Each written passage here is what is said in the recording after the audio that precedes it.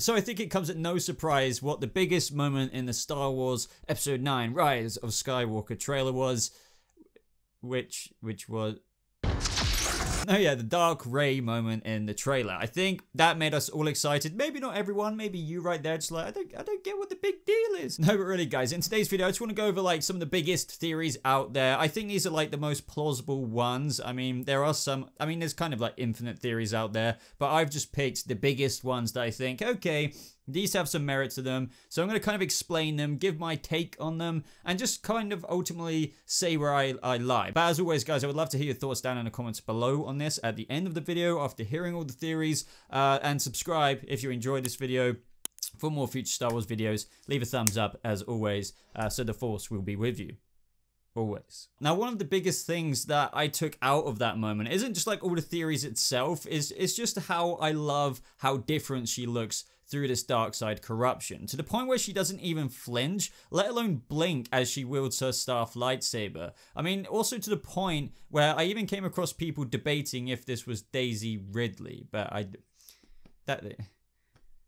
That's Daisy Ridley. But that's what made this point in the trailer so compelling. Not just the fact that she pulled like a freaking red lightsaber, it's because she looks so creepy to the point where we were all just thinking, is this actually a thing? Could this ever happen? So let's start off with the first theory that, yes, this is just a vision. Now I know a lot of people out there are just kind of like, oh really, a vision? You know, we, didn't we get that like last movie and I mean, really? Like, really? But I do have plenty of ideas behind this. Granted that these are all just theories at the end of the day, but I do think it would be really cool if it was some kind of moment on the Death Star from Palpatine tempting Rey to the dark side. For example, ever since I first saw it, I thought perhaps before we see that very battle in the trailer of Kylo versus Rey, we have moments of where Rey first gets to the wreckage and goes inside a section that isn't perhaps flooded, you know, in that part of the trailer where the waves are really, really high um, you could argue that, you know, since the Death Star is ruined there, a lot of the Death Star could be flooded. But due to exploring a certain part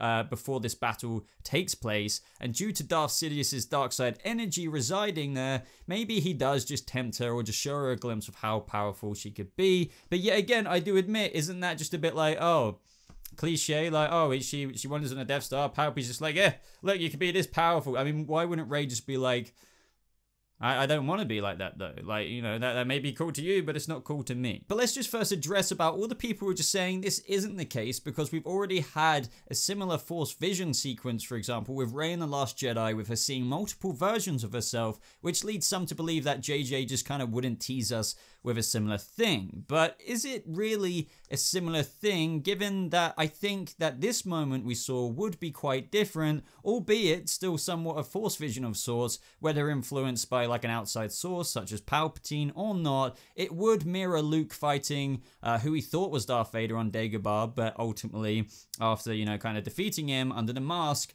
saw himself. Like maybe it's kind of a mirage of that moment echoing The Empire Strikes Back. Personally there, I do think it would be different enough from The Last Jedi's Force trip, if you will, to justify another just a vision moment again in episode 9, but I still think some people will get a bit salty, you know, with the whole, ah, for crying out loud, it's just another vision, but I think it's fine given what I just said with how it will be different from episode's 8 Force Encounter for Rey, and it could honestly make a whole bunch of sense with Palpatine's involvement in this film, which is very clearly heavily involved in, but we just don't know exactly how he's still here yet. Also, it wouldn't be the first time Rey has been tempted by the dark side, of course, with instances such as hearing voices in episode 7, like in a novelization version, for her to kill Kylo in that duel with him, among, of course, other symbolizing moments for the dark side and her, you know, contemplation of it in episode 7 and 8. And now, perhaps in a full circle sense, she quite literally gets to see where she could go with that. But also, just back to mirroring the whole Luke on Dagobah thing, it would be just cool if it was just,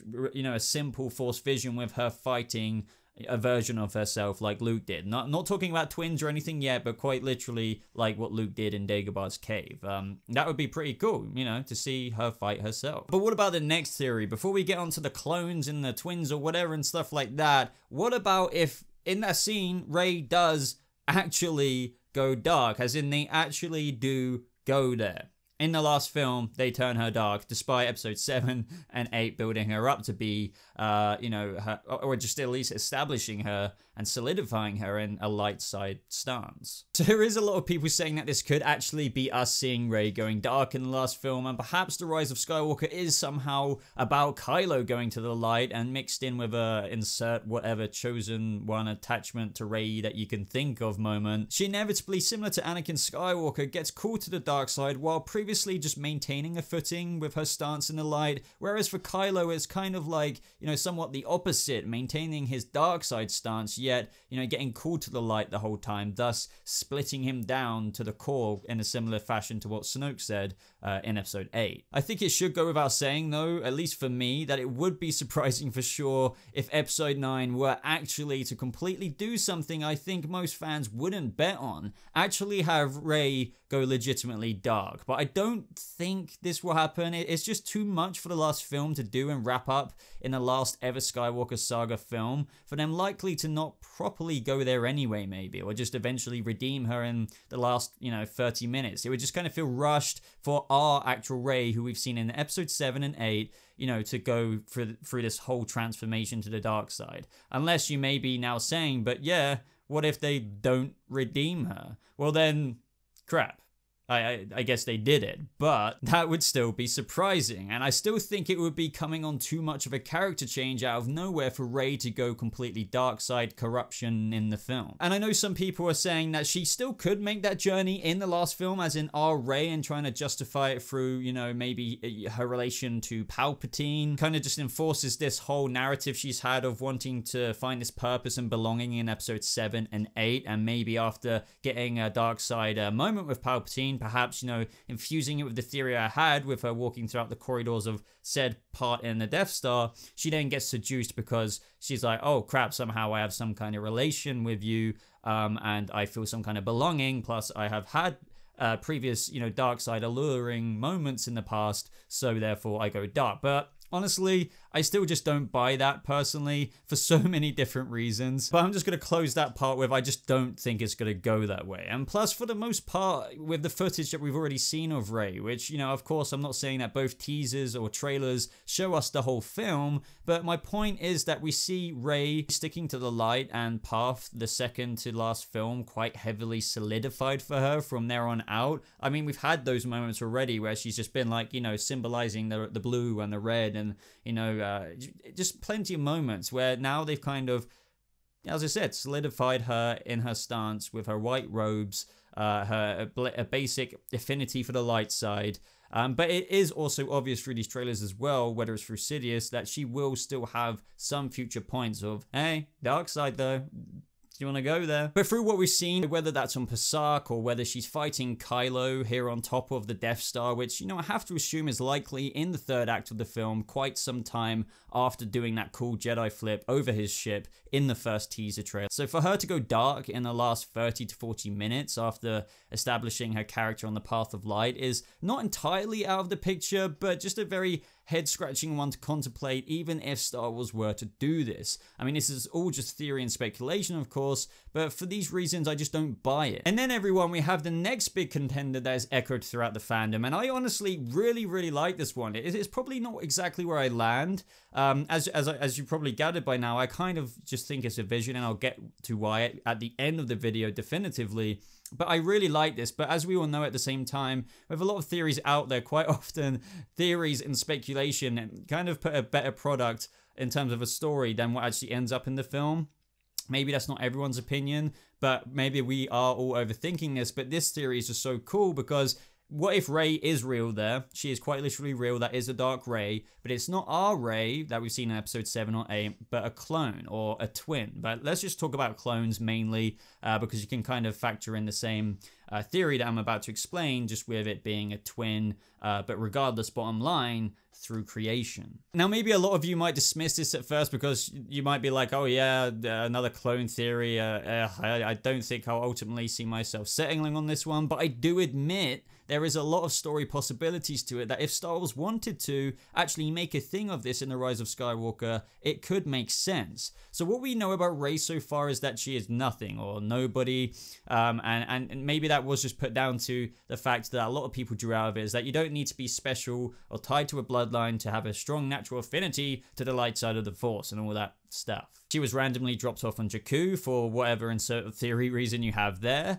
Uh, but what if that was because she was one of a bunch of different versions of herself who was randomly dropped off on Jakku just to have some kind of prospect for a normal life compared to that of what she was in for with whomever she could have been created by, you know, beforehand. She would have been in for a bunch of dark, dark side stuff. Now, what echoes this theory even further and makes it very compelling is what we saw from The Last Jedi and how when she goes into the cave to seek the answers for her parents and her origin, she only quite literally gets the answer back of like a whole endless kind of line of Reys. It may not have gone on for infinite kind of Reys because she did say like I knew this didn't go on forever or something like that, but very clearly multiple Reys. Now, for me and many others, this kind of just makes it feel like all the dominoes, you know, are falling in line with these clone theories because this could be spelling out to us so obviously that yes, she technically is no one and comes from somewhat nothing, like her parents weren't presented to her.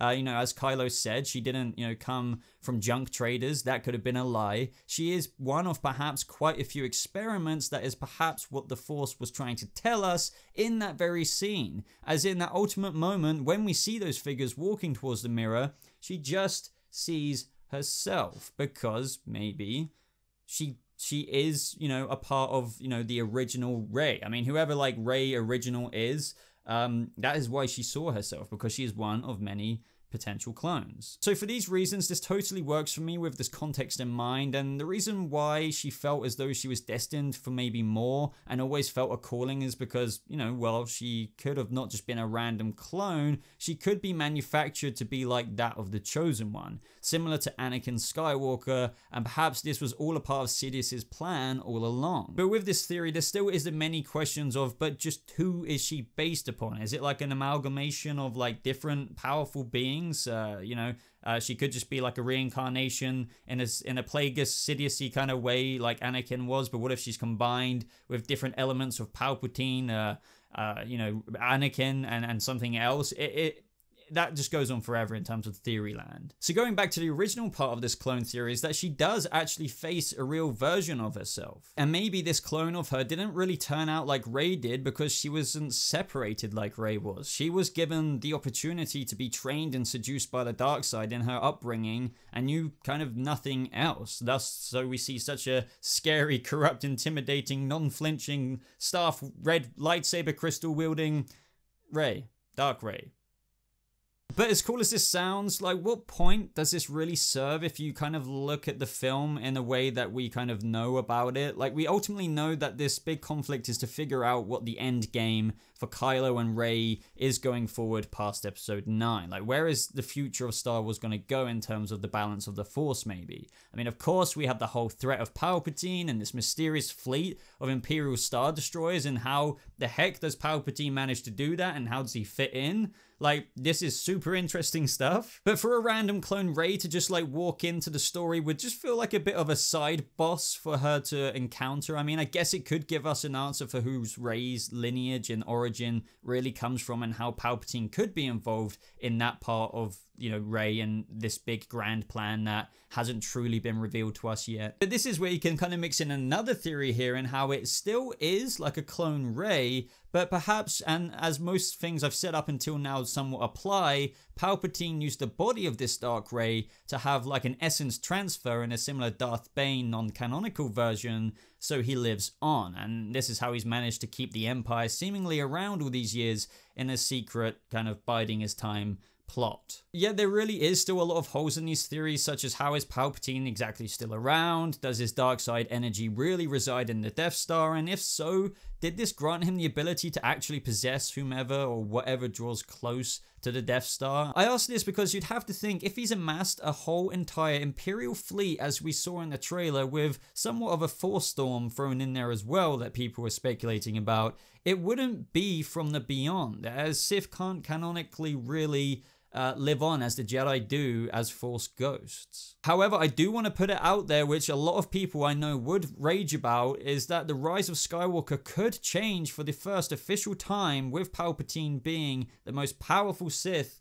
um, from what we know of the canonical films like to actually introduce him being force ghost kind of territory i know as i said uh, I've spoke about this before, and people hate the idea of that. But what if they do kind of do that? You know, it was kind of explored in some concept art, I believe, for the Last Jedi. There's this mysterious figure thrown behind Luke, but I just wanted to chuck that in there. Other things that just make me think along this line is that we do know, as of the Last Jedi, as we saw Yoda do, Jedi can affect the physical world even after death. For example, the sacred Jedi texts being burned. And now in the current trailer, amongst the Imperial fleet, we kind of see these force-like storms, and who knows what grounds they could tread now, or new ground, should I say, in the last Skywalker Saga film, for the Sith. So with regards to that, it's still all a mystery here, but obviously Palpatine is involved in such a way that he can influence an amassing of a fleet. I mean, I kind of refuse to believe that it, this is just like a loyal to Palpatine Imperial group who's been grinding all of these years to get their revenge. Plus, as we know from the Force Storms and the obvious inclusion of Palpatine in Episode 9, and you know, from whatever detail or another you can use there, he is somehow back in one form or another but maybe they will keep intact that the Sith can't truly live on like, you know, uh, Jedi can. But the fact that Palpatine is still around is because he left his dark side taint, and it was powerful enough to still have an influence on the real world. But there's definitely some details that we are missing there uh, that we can only find out when the film uh, is in theaters. So I know this was kind of like a long, rambly kind of fan theory uh, video, but I just wanted to share my take on it. Um, and where do I ultimately fall in line here? I do really, really like the clone theory. I really, really do. I mean, not only because it sounds cool, but it would also make that scene in The Last Jedi that Rian Johnson chose to do with the kind of line of seemingly endless Reys make a lot more sense because it's like telling the uh, the character, hey, you come from you because you are a bunch of yous in the sense of clones. But the Star Wars website, and just not only me thinking this anyway, I, I think it just is a vision. Uh, the Star Wars website uh, described this moment as a, a vision for Rey, and, and, then immediately kind of editing that out, taking it down, and, and calling it something else, like getting rid, rid of the word vision, definitely. So that kind of makes you think that Star Wars did kind of F up there and kind of revealed that this is a vision. And if that is true, I, I mean, this hasn't stopped people still theorizing all of these kind of different things. Um, it doesn't mean that it won't be cool. It doesn't mean that in my mind, I see Rey before she battles Kylo on the top of the Death Star trenches because we see the turret there. Um, that she didn't explore it beforehand, uh, and she wasn't near the dark side taint of Palpatine, and you know then got a a, a vision from him. Uh, it would that would just still be really cool to see, and it wouldn't it wouldn't be the exact same as what Rian Johnson did with her Force vision in uh, the Last Jedi. I mean, to be honest, it is just kind of endless. So yeah, let me know what you thought. But thank you so much for watching, guys. Uh, leave a like on this video if you did enjoy it. Uh, subscribe for more Star Wars content just like this. Maybe watch some of my other videos like my Star Wars Rise of Skywalker trailer breakdown. Uh, but other than that, guys, thank you so much for watching. I hope you have a lovely rest of your day and may the Force be with you always.